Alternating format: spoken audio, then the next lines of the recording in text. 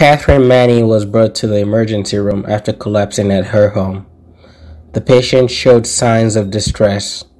She was perhaps in an aversive state due to several factors. Catherine had her first case of heart failure two years ago. Since then, she's been diagnosed with coronary heart disease, anterior myocardial infarction, and hypertension. Complications from her heart failure led to the need for a surgical procedure to replace a mitral valve. Catherine was prescribed Lanoxin to help her treat irregular heartbeat, Lasix and Aldactone to treat fluid buildup due to heart failure and possible liver scarring, lisinopril and Lopressor to treat high blood pressure, and Zocor to lower her LDL and help her raise her HDL. Catherine is also currently on supplements such as Metamucil and Centrum Silver multivitamin. She does not drink or smoke. Her parents, however, have a history of hypertension and coronary heart disease. Catherine is a 65 year old Caucasian female. She is married and lives with her husband. She is a mother of four. Catherine is a high school graduate. She is a retired caterer.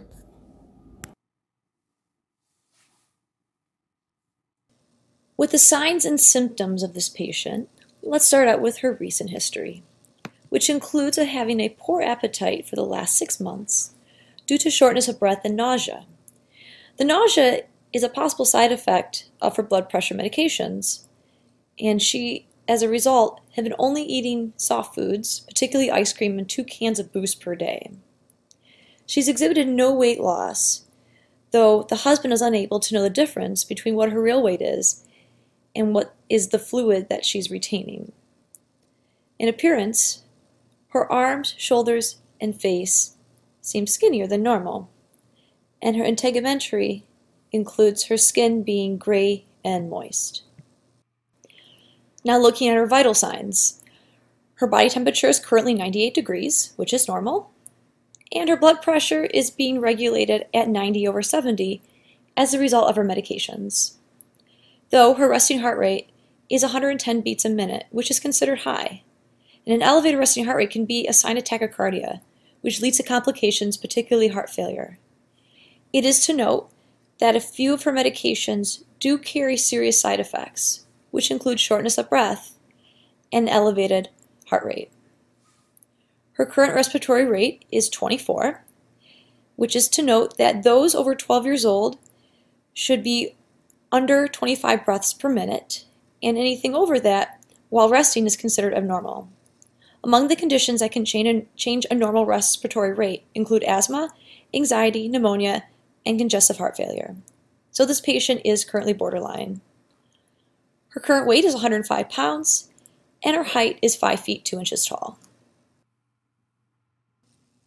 Continuing with her signs and symptoms, medical symptoms included heart disease. So first the history of CAD, mitral valve replacement, heart failure, and anterior MI. She's currently expressing heart diffuse PMI in AL and LOD, grade 2 holosystolic murmur at apex radiating to the left border, first heart sound diminished and second heart sound preserved, third heart sound present and rales in both lung bases posteriorly. Continuing with the medical symptoms of this patient, those also include those of the head, ears, eyes, nose, and throat. This patient exhibited temporal wasting of the head, in which wasting of the temporalis muscle mass is commonly seen in cases of significant catabolism and or generalized nutritional deficiency. This patient has had a poor appetite for the last six months due to her shortness of breath and nausea, in which she's expressed thinness in her shoulders, neck, and face as a result of possible muscle wasting. The patient also exhibited in the eyes AV crossing changes and arterial spasm, in which AV crossing changes in the eyes indicate signs of hypertensive retinopathy, which occurs when retinal vessels get damaged due to elevated blood pressure. Though her blood pressure is currently being controlled with medications, she may still have episodes of hypertension in which can exhibit signs of hypertensive retinopathy. This patient also exhibited in the throat jugular vein distension and sitting with positive hepatojugular reflux. The internal jugular vein is observed to assess central venous pressure, with the most common cause of raised jugular venous pressure being congestive cardiac failure, in which the raised venous pressure reflects right ventricular failure. Continuing to look at the signs and symptoms is also to examine the extremities and abdomen. This patient exhibited a pedal edema at a 2 plus, in which pitting pedal edema is a cardinal sign of heart failure. At a 2 plus, it's considered a moderate pitting edema, which is indicated by around a 4 millimeter depression lasting 10 to 15 seconds. So one or both of your heart's chambers will lose their ability to pump blood efficiently. As a result, the blood will back up into the legs, ankles, and feet, causing edema. Addressing this patient's weak grip strength, it has been known that those with low grip strength had weaker hearts and were able to pump less blood around the body. Although hand grip strength can be associated with having enlarged, damaged hearts. In the abdomen area, though infrequent, ascites is also caused by congenital heart failure. It results from the transudation from hepatic and peritoneal veins. It's most frequently occurring with patients with tricuspid valve disease and constrictive pericarditis. Also, heart failure can rob the liver of the blood that is needed to work. The fluid builds, build up that comes with it puts extra pressure on the portal vein, which brings blood to the liver. As a result, this can scar the organ to the point where it doesn't work as well as it should. The patient has a history of shellfish allergies. She prefers to follow a diet that is low in salt, fat, and dietary cholesterol. She regularly consumes a Metamucil fiber supplement as well as 1,000 milligrams per day of calcium supplement and a multivitamin. Her household food purchases come from a combination of both herself and her spouse. This patient is showing many abnormal lab values that can be connected to her condition of heart failure. For example, her troponins, CPK, lactate dehydrogenase, BNP, and carbon dioxide pressure are all elevated, which is very common in the case of heart failure. She's also showing some severe liver problems, including elevated ALT and AST with decreased albumin and prealbumin proteins. Uh, liver failure or liver problems are also very highly correlated with heart failure, so this shouldn't be surprising. Uh, she's also showing very high elevated of neutrophil percentages. In many cases, this could be a sign of an infection, which is it's possible that that could be going on, but it could also be just connected to the immune system going into overdrive as a result of her heart situation. The patient also appears to be showing some issues with her kidneys. Her creatinine is high, her BUN is high, and her GFR are low. Also, she's showing some symptoms of dehydration. Her sodium is low, and her specific gravity is high it's hard to tell whether the dehydration is a symptom of the kidney and heart issues or whether that's more of a symptom of the diuretics that she has been prescribed as part of a treatment plan. But either way it should be continued to be monitored for in order to ensure her safety this patient is showing lab values that are consistent with anemia, which may explain some of her symptoms, including pale, moist skin and fatigue. Her hemoglobin is low, her hematocrit is low, her transferrin and bilirubin are high, and not surprisingly, her overall red blood cell count is low. It's possible that her anemia is a consequence of her health conditions, or it's also possible that it may be due to the major dietary she changes that she recently made. She cut out some major food groups, which may be contributing to this. Either way, regardless of what the biggest factors are contributing to her anemia, this is definitely something that will need to be addressed through a nutritional intervention. The patient is showing some major signs of metabolic syndrome. Her CRP is high, which is a proxy for inflammation. She has dyslipidemia, including low HDL and high LDL, and her insulin resistance is high, evidenced by her high blood glucose. So all of these things very likely preceded her heart failure. They probably have been present for many, many years, and these factors combine together to increase the rate of her heart problems. Here is the medical orders for Mrs. Manny. There are parenteral dopamine and intravenous diuretic because of heart failure, and 100 mg thiamine intravenously to prevent a lack of thiamine. And the first meal type order for her is 2 gram sodium restriction.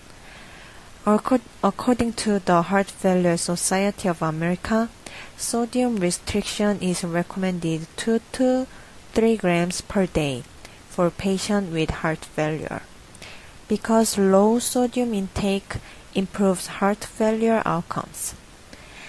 And the second meal type order is 15,000 milliliter fluid restriction due to her history of heart failure. As more fluid in the bloodstream, it makes harder heart pumping. Therefore, fluid restriction can avoid overloading her heart. An intake percentage of meals is less than 5%. And fluid requirement for Mrs. Manny is 15,000 milliliter. This patient's age is 65 years old, height is 157.48 centimeter, and weight is 47.6 kilogram. So here is the calculation for this patient's daily energy balance and protein requirement.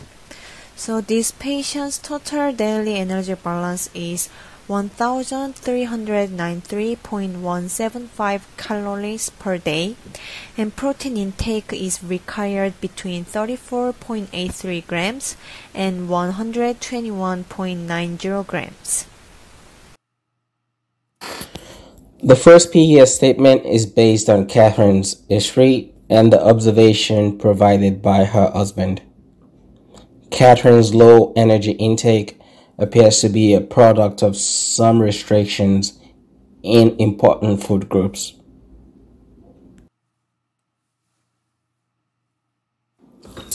Based on Catherine's history, an important intervention for her will be to educate her about nutrition. Further, she will be provided with education materials about nutrient dense food. Records show that she has been having issues with consuming food orally. Therefore, she will be educated about foods such as smoothies that contain vegetables, fiber, and protein.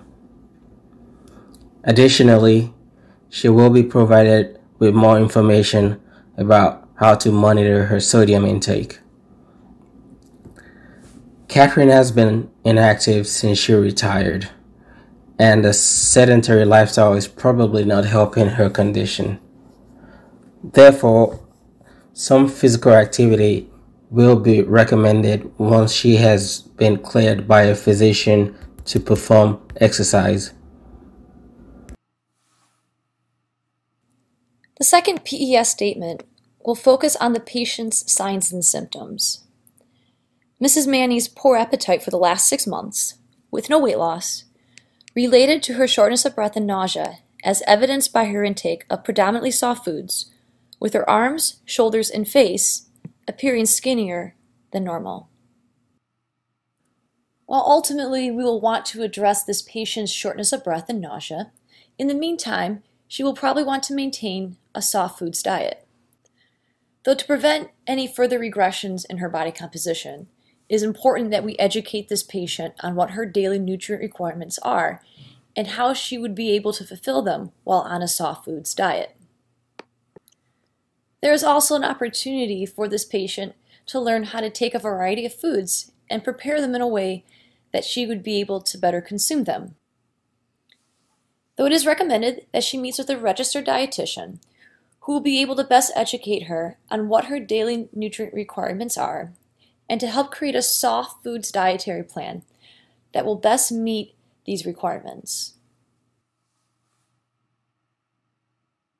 The Patient is showing anemia related to heart failure and or reduction in food intake as evidenced by pale moist skin, reduced RBC, hemoglobin, hematocrit, ferritin, and iron, as well as elevated transferrin and bilirubin. The goal of the nutrition intervention is to restore red blood cell count, hemoglobin, ferritin, and iron by supplementing with iron either through enteral mechanisms or possibly intravenous mechanisms. The fourth PES statement will focus on patient's energy balance and protein. Mrs. Manny's inadequate energy intake related to the risk of cachexia as evidenced by consuming less amount of meals and protein intakes. Before moving to the nutrition intervention, I would like to talk more about cardiac cachexia because Mrs. Manny has the risk of this condition. So cardiac cachexia is a pathological condition associated with heart failure and commonly referred to as body wasting syndrome. So the main symptoms of cardiac cachexia are uh, short of breath, fatigue and poor appetite, and unintentional weight loss and decreased muscle strength and these symptoms are caused by fluid buildup from heart failure, which could make it harder to absorb nutrients from food, and also caused by low energy intake and malnutrition. Here is the nutrition intervention for the fourth PES statement. The goal is to provide nutritional support and adequate protein intake for obtaining and maintaining a normal range of body weight. So for nutritional support, it should be started with small amounts and slowly increased and should be encouraged to eat smaller and more frequent meals. And the minimum recommendation for protein intake is 1.5 to 2.0 gram per kilogram per day.